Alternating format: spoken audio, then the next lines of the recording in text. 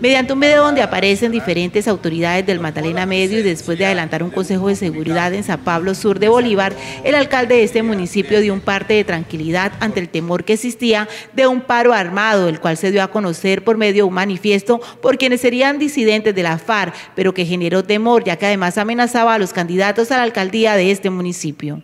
Acabamos de salir de una reunión el Consejo de Seguridad en el municipio de San Pablo con la presencia de todas las fuerzas militares, Policía Nacional, Armada Nacional, por la presencia de un comunicado que salió en el día de ayer por parte del GAO, el GAO residual, y le manifiesto que en el municipio de San Pablo no hay presencia del GAO residual.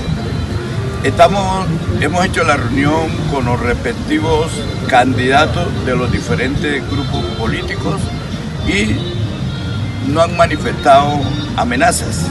El alcalde desmiente la veracidad de este manifiesto e indica además que hasta el momento el comercio y el transporte público en el municipio operan de manera normal y en donde la comunidad se ha podido desplazar hacia las diferentes veredas y otros municipios sin contratiempos.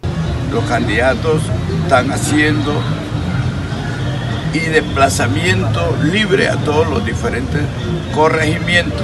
No hay presencia de amenaza a los diferentes candidatos. Eh, le solicitamos a la comunidad de San Pablo que tengan una completa tranquilidad, que haya normalidad. Eh, vemos que manifestaban que había un paro armado y desde Barranca Bermeja hay transporte en el municipio, está funcionando normalmente. Sin embargo, en el municipio habrá presencia de la fuerza pública y el ejército para la seguridad de toda la comunidad.